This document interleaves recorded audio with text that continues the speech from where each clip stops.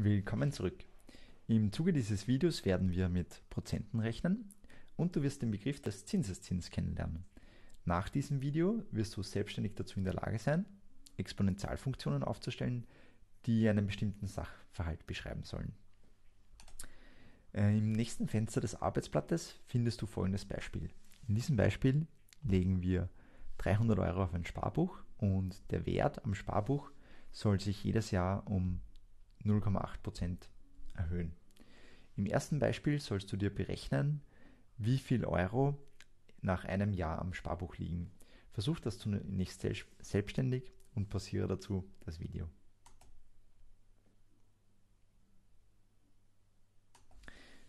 Gut, wie du bereits weißt, bedeutet es, dass wenn wir einen Wert um 0,8% erhöhen wollen, dass wir diese 0,8% zu den 100% vom Wert selbst dazugeben müssen.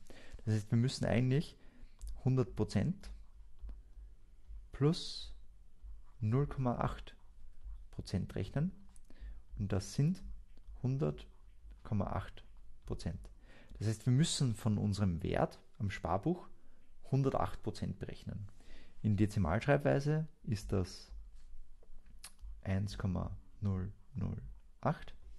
Ähm, ich habe hier einfach den Prozentwert durch 100 dividiert, um die Dezimalschreibweise zu bekommen, weil Prozent bedeutet ja so viel wie per 100. Das heißt, wir, wir müssen uns von unseren 300 Euro, der Wert, also der Wert, der gerade im Sparbuch liegt, 108,8 100, berechnen. Und das tun wir, indem wir 300 mal 1,008 rechnen. Das Ergebnis, das Ergebnis habe ich bereits vorbereitet. Hier kommt 302,4 Euro raus. Im zweiten Beispiel sollst du dir berechnen, wie viel Euro im Sparbuch nach 5 Jahren liegen. Versuch das zunächst wieder alleine und pausiere dazu das Video. Gut, äh, bevor wir mit der Rechnung beginnen, stellen wir zunächst eine Überlegung an. Wir gehen zu einer Bank und legen auf das Sparbuch ein Kapital von K0. In unserem Fall wären das die 300 Euro. Nun bekommen wir Zinsen für unser Kapital und zwar in unserem Fall 0,8% pro Jahr. Das heißt, wenn wir das Kapital K1 nach ein Jahr berechnen wollen, dann wissen wir bereits, dass wir unser K0 mit 1,008 multiplizieren müssen. Wollen wir nun das Kapital nach zwei Jahren berechnen, so bekommen wir jetzt diese 0,8% Zinsen nicht auf unser Startkapital, sondern schon auf unser Kapital K1. Das heißt, wir nehmen das Kapital K1 und multiplizieren dieses wieder mal 1,008. Das Ganze wiederholen wir jetzt für K3. Wir multiplizieren wieder mal 1,008. K4 wir multiplizieren wieder mal 1,008 und K5. Das heißt, ähm, wenn wir auf das Kapital kommen wollen, das nach fünf Jahren auf unserem Sparbuch liegt, dann müssen wir die 300 fünfmal mit 1,008 multiplizieren. Das heißt, wir rechnen 300 mal 1,008 hoch 5. Das Ergebnis habe ich auch schon vorbereitet. Hier kommt raus 312,19 Euro. Gut, diese Rechnung hat übrigens einen bestimmten Namen und diese nennt man Zinseszins. Warum nennt man die so? Weil man sozusagen immer die Zinsen nicht auf das Startkapital bekommt, sondern auf das Kapital, das gerade am Konto liegt oder gerade am Sparbuch. Das heißt, ich bekomme für die sozusagen für die Zinsen, die ich schon bekommen habe, wieder Zinsen. Gut, nun im dritten Beispiel ähm, sollst du dir überlegen, wie du eine Gleichung aufstellen kannst, mit der du den Wert am Sparbuch für eine beliebige Anzahl an Jahren berechnen kannst. Versuch das zunächst wieder alleine und passiere dazu das Video.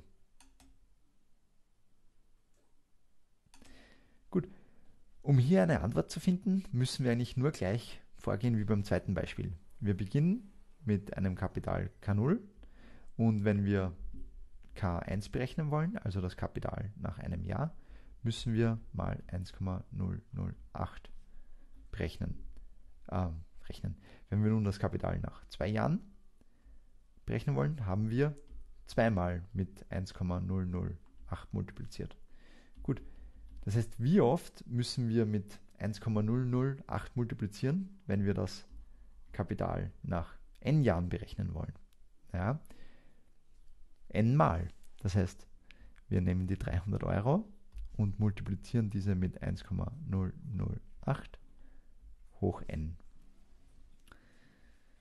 Gut, bei der vierten Aufgabe sollst du dir jetzt überlegen, nach wie vielen Jahren wir zumindest, also nach wie vielen Jahren sich der Wert am Sparbuch verdoppelt hat. Das heißt, nach wie vielen Jahren sind zumindest 600 Euro am Konto. Wir können das leider derzeit noch nicht berechnen, aber wir können uns an die Lösung herantasten.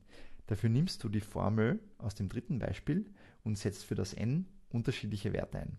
Versuch das zunächst alleine und pausiere dazu das Video. Gut, ich werde die vierte Aufgabe nun mit Hilfe von GeoGebra lösen. Du kannst es natürlich auch mit deinem Taschenrechner machen. Ähm, dazu definiere ich mir zunächst in GeoGebra unsere Funktion, die wir gefunden haben, also kn, Doppelpunkt ist gleich 300 mal 1,008 hoch n.